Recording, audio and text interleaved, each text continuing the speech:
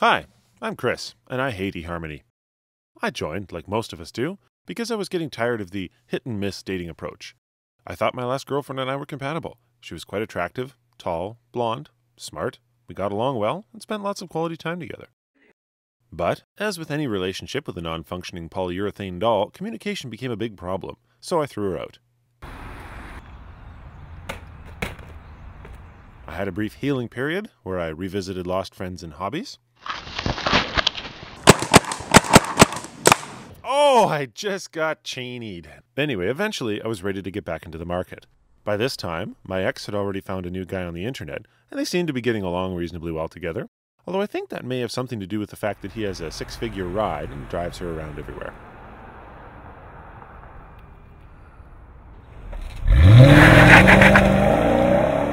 This time, I wanted to get it right. eHarmony promises matches based on 29 dimensions of your personality, which has to be better than the two dimensions of a personality most of us guys initially look at. Now, I, of course, was referring to intelligence and sense of humor. So I signed up. I had high hopes because I think I'm a pretty decent guy. I play competitive tennis. I do stand up comedy. I really enjoy playing basketball. But I'm not very good. so I went through the questionnaire. I was really happy when I saw height on the first screen. I'm 6'6, and one of my main goals is to find someone tall enough to look across at without them having to wear crazy stripper heels. But I'm also an atheist. So I should have realized that something was a little off with this site when the absolute first question about me was how religious I was and didn't give me an atheist option. But hang on, what does spiritual but not religious mean? Didn't a great philosopher once say that being spiritual but not religious is like believing in cheese but not cows?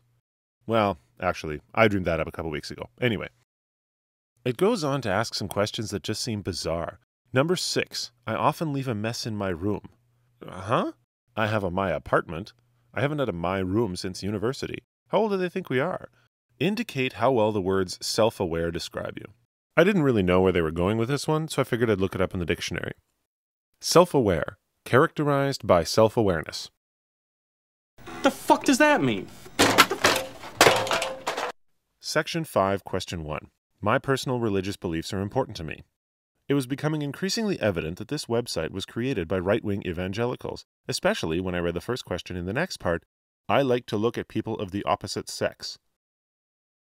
Look, if you want to find out if we're gay, you could try being a little more subtle about it. How about, I use conditioner. I cried in Brokeback Mountain. Or I respect Celine Dion as a musician. Or, you know what? Just come balls out and ask what you want to know. I am a homosexual abomination sent by Satan to destroy the sanctity of marriage. I have to say, though, that it's great to know that there are people out there other than my stepdad for whom knowing that my partner is usually to blame when things go wrong is very important. The true or false questions seem more to test whether or not you could read. I sometimes drive faster than the posted speed limit. I dislike some people. I sometimes waste time when I should be working. Well, I made this video when I should have been working because I strongly dislike the people at eHarmony. Oh, Ross from Philadelphia, Pennsylvania says, I found this to be the only service to ask what seem to be the meaningful questions that really matter. Ross, you're so dumb, I bet your first match was a tree. Now, I like the questionnaire, but why not ask questions that would actually be a barometer of your day to day living situation? For example, number one, define room temperature. Number two, how often do you want sex in a long term relationship? Daily? Weekly? Monthly? Leap years? Number three, country music is bad music, terrible music, or not really music at all. Number four, which half of the bed do I get to sleep in? Left, right, bottom, or couch? At this point, I should explain a little bit about my story. When I first joined eHarmony, I got absolutely no matches in the entire world, confirming my suspicions that tall people die lonely, isolated deaths. But the next time when I was screen capturing my sign up for this video rant, I saw that I actually had some matches. Well, let's check them out. Karina, five three. Okay, uh, what part of I'm freakishly tall and height is very important to me do they not understand? It turns out that they created a new tab in their compatibility section called Nice to Haves and put height in it. It wasn't there before, and that's the only thing in there. Listen, eHarmony, anyone who's ever tried to park a half ton truck in a downtown parkade knows that size matters. Now, before you get all tuned up about tall guys and big feet, let me explain. I like tall women, and I just can't take short women seriously in a relationship for more than about four hours. Also, I used to do a lot of ballroom dancing, and if you're a tall guy in a dance competition, your partner has to be tall. And if you're both tall, people give you trophies, and lots of them. Anyway, back to my matches. Maybe Jamie will be tall. Oh, Tatiana, 5'7, Katie, 5'5, Jessica, 5'9. Almost there, but how can a 23 year old work in law enforcement? Um, sir, I like pulled you over because you were totally speeding. Now, by this time, I'd actually given up on meeting anyone from this site, and I tried to find out where all this stuff came from. It turns out that eHarmony is the brainchild of a Dr. Neil Clark Warren, who is a clinical psychologist with a master's in divinity from Princeton Theological Seminary and a PhD in clinical psychology from the University of Chicago, which he got in 1967. He's also written a few books, one of which is called God Said It, Don't Sweat It, and has chapters like Quit Trying to Please People and Focus on Pleasing God Alone, Live Clean, Innocent Lives, Practice the Art of Praising and Honoring Your Husband, and my personal favorite, Pray for Yourself and Christians Everywhere. Yeah, hey Buddhists, f you. You too, Muslims. What have you ever contributed to the world, except for numbers in the scientific method? So I did some digging, and I only managed to find two video clips of Dr. Warren, the first of which was him on Politically Incorrect with Bill Maher talking about sex and relationships. First off, I don't understand why we're taking sexual advice from a 73 year old guy who believes we should live clean, innocent lives and got his PhD two years before the moon landing, but here we are.